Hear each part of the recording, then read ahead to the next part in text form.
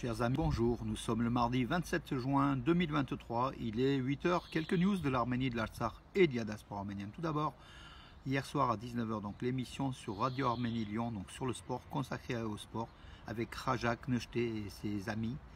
Donc euh, j'ai été, euh, je suis intervenu euh, sur la deuxième partie de l'émission, donc sur le sport arménien. Donc un- une belle émission de, de près d'une heure. La vidéo, vous pouvez la trouver donc sur ma page Facebook ou sur d'autres sites en fait, dont Radio Arménie Lyon. Merci aussi à, tous ceux qui s'intéressent au sport arménien et à l'Arménie en général. Bravo aussi à, à, Rajak euh, qui, adore avec ses amis Nejdeh et, son autre compagnon donc le sport sur Radio Arménie en tout cas encourager, écouter et diffuser tout simplement parce qu'autour du sport on véhicule euh, l'idée du sentiment du sentiment arménien euh, fort de l'arménité et beaucoup beaucoup de valeurs voilà qui est dit. D'ailleurs, en sport, Elina Vanessian, donc la, tennis, euh, la joueuse de tennis de 20 ans d'origine arménienne de Russie, sous les couleurs de la Russie, l'arménienne donc euh, Elina Vanessian, était 81e, donc elle était 200 et quelques 230e mondiale il y a, il y a ça deux mois. Elle était passée à 91e place mondiale, 81e place, et là, et là désormais, elle est à la 64e place mondiale. C'est énorme, c'est bien, bravo à elle, à 20 ans elle promet d'être parmi les, meilleurs. De toute façon, elle se rapproche de, des, des euh, mon- des dix premières mondiales. Voilà. Euh, L'école professionnelle Ye- Yeznik Mozian continue. Donc de Chouchi, euh, donc cette école a déménagé à Stepanakert, comme vous le savez. Et l'année scolaire s'est terminée avec des diplômes, beaucoup de diplômes, des diplômes professionnels, donc plombier, électricien, enfin beaucoup de métiers. Donc les jeunes arméniens de l'Artsakh apprennent des métiers, sont diplômés et vont bien sûr développer donc euh, l'artisanat, l'artisanat, donc ces domaines professionnels sur le territoire de la République de l'Artsakh. Voilà, bravo à cette école Yeznik Mozian qui avait été financée par le Fonds arménien de France. Euh, on se souvient, on avait même visité à Chouchi. Malheureusement, on l'a perdue il y a deux ans et demi, donc euh, cette école. Elle a déménagé dans des locaux à Stepanakert, mais par contre l'activité continue avec, euh, avec beaucoup d'efforts réalisés par le gouvernement de l'Artsakh et aussi par le Fonds arménien. Voilà. Les troupes russes ont tué deux mineurs à Berdiansk, Berdiansk, c'est en Ukraine, dont l'un d'eux est Tigran Ovanessian, un jeune arménien de, de 16 ans. Euh, alors, il aurait été vu avec une Kalachnikov en train de, tirer sur des, Russes, des soldats russes.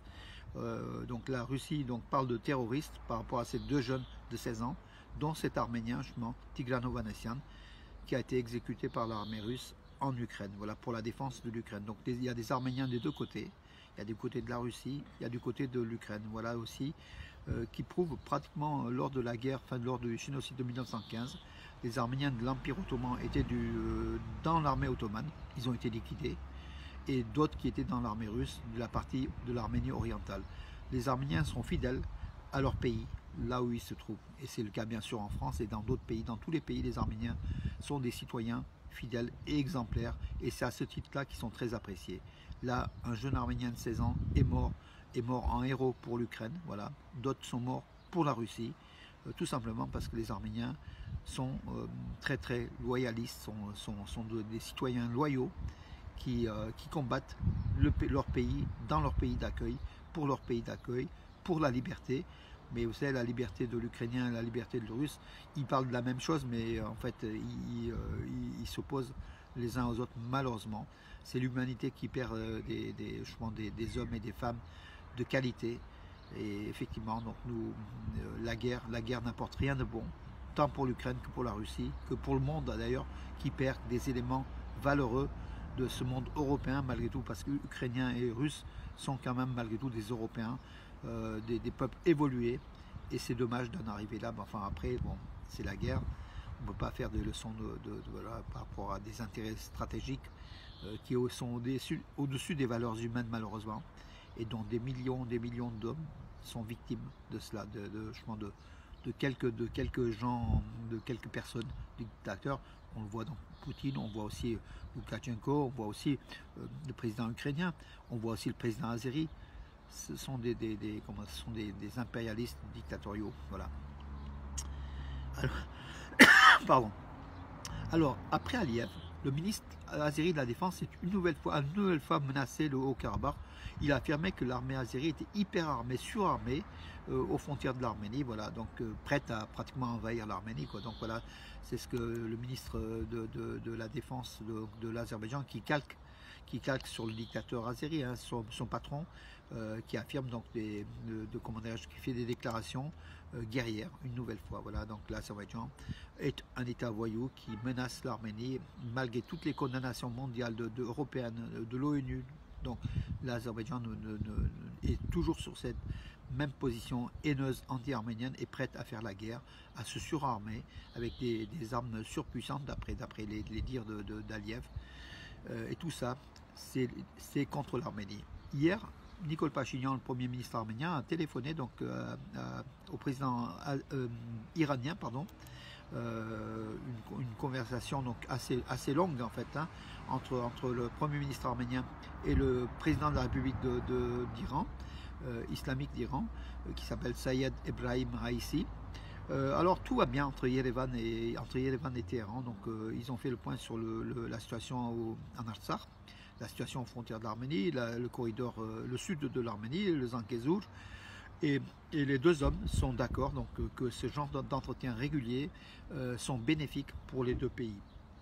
L'Arménie et l'Iran entretiennent des relations diplomatiques et économique très forte en fait. Hein. voilà, donc l'Iran est pratiquement l'allié de l'Arménie. Voilà, donc et d'ailleurs euh, lors de, l'attaque du mois de septembre dernier de l'Azerbaïdjan sur le Zankezur arménien, euh, euh, la réaction de, Téhéran fut très forte, à tel point de faire reculer tant azéri que turc. Voilà, donc aussi, donc le monde perse et le monde ottoman s'affrontent. Et là, le monde perse n'a pas dit son dernier mot parce que l'Iran est un pays de pratiquement 100 millions d'habitants qui est là, qui est là et qui désire garder sa frontière avec l'Arménie, qui est quelque part le garant de ce sud de l'Arménie, à défaut de la Russie qui est, aux abonnés absents et dont on ne sait pas si Poutine n'est pas en collusion directe avec, enfin, avec Erdogan bien sûr, mais aussi avec Aliyev pour le sort de l'Alsar et du Zankezur. L'Iran est quand même là. Voilà. Hier, en Alsar, donc des tirs, des tirs azéris sur un agriculteur arménien qui était, euh, qui était dans les champs avec son tracteur un, jeune homme de 22 ans dans le, les, terrains agricoles du village de Murishen, près de Martouni, donc à l'est de, de l'Artsar, la partie non occupée. Il a été victime de tir, il a dû arrêter donc les, travaux agricoles. Voilà. Euh, fort heureusement, pas de blessés, pas de morts. 17 malades de ont été transférés hier avec des accompagnateurs donc à Yerevan. Et dans le sens inverse, d'autres malades, je crois qu'ils étaient au, nombre de 9, ont été, sont retournés à Stepanakert. Ils avaient été soignés dans les hôpitaux d'Erevan ou d'Arménie. Voilà. Euh, alors, euh, que dire de plus? Oui, attendez, un, fort taux de croissance. Une nouvelle fois, l'Arménie va euh, va surprendre le monde de, l'Union économique européenne à laquelle elle, elle, elle appartient à 36% de développement du secteur de, la construction entre janvier et avril. 36%, c'est énorme, énorme, les constructions en Arménie. Et quand on dit c'est en économie, quand la construction va, tout va, la construction fait naître des, sous-traiter des, des, des, secteurs entiers de l'économie. Et l'Arménie, l'économie de l'Arménie se porte très très très bien et se porte d'autant mieux que le tourisme est en explosion en Arménie avec une croissance extraordinaire également de, l'ordre de 30 à 40%. Et cette année, on va atteindre des, records et sans doute dépasser la barre des 2 millions, donc la barre record des 2 millions de touristes en Arménie. En tout cas, ce sont des résultats très très encourageants. Et heureusement qu'il y a ça pour l'Arménie, un peu de réconfort dans ce monde où l'Arménie est quand même euh, sous pression d'une menace azérie. Son économie est en, est en très très bonne santé et ça c'est un réconfort important pour nous pour, le, pour l'Arménie, pour le développement de notre nation au, Sud-Caucase. Voilà mes amis, donc euh, j'en ai fait le tour, donc a priori il n'y a pas eu cette nuit, il n'y a pas eu de, On attend toujours, vous savez, le matin, quand on se réveille, on attend, moi j'attends les agences de presse en fait, hein, surtout euh, pour voir s'il n'y a pas de, de, mauvaises nouvelles aux frontières. A priori cette nuit, donc y a, le ministère arménien de la Défense n'a diffusé aucune nouvelle, donc a priori euh, c'était relativement calme. Il y a eu de toute façon des tirs de, d'armes légères de Kalachnikov, mais ça c'est quotidien et c'est tout le temps, c'est régulier, euh, pourvu qu'il n'y ait pas de tirs d'armes lourdes destructrices à nos frontières, puis surtout des, blessés parmi les soldats arméniens ou des morts parmi les soldats et les villageois arméniens frontaliers. En tout cas, donc là cette nuit, a priori, il n'y a pas eu de. Et pour nous, voilà, c'est une bonne journée qui démarre. Voilà, prions pour la paix, mes amis, aujourd'hui. Donc euh, aussi, donc la poursuite entre Ararat Mizoyan et Jeyun Bayramov, le, le, ministre arménien des Affaires étrangères et de, l'Azerbaïdjan, qui se rencontrent depuis hier à Washington. Bien sûr, sur l'arbitrage d'Anthony Blinken, le secrétaire d'État américain des États-Unis. Euh, ça avance, donc ça va durer sur plusieurs jours euh, pour arriver à des, petits accords sur le parcours d'un accord de paix. Voilà. Mais par contre, si derrière Aliyev menace l'Arménie et fait, comment dirais-je, miroiter la haine anti-arménienne auprès de sa population, on sera loin de la paix tout simplement. Voilà. Et par contre, ça grignote, ça avance à, petits pas. Et là, c'est les États-Unis qui ont pris l'initiative. Demain, ça sera Moscou qui prendra l'initiative. De toute façon, euh, ce dossier du Sud-Caucase est, comment est arraché un petit peu par l'Europe, par Moscou et par Washington. Et c'est tant mieux si ça avance. Voilà. voilà. Sur ce, mes amis, on va profiter du soleil et du beau temps.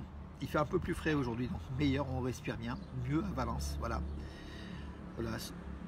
Je vous, donne rendez-vous demain, mes amis. Bonne journée.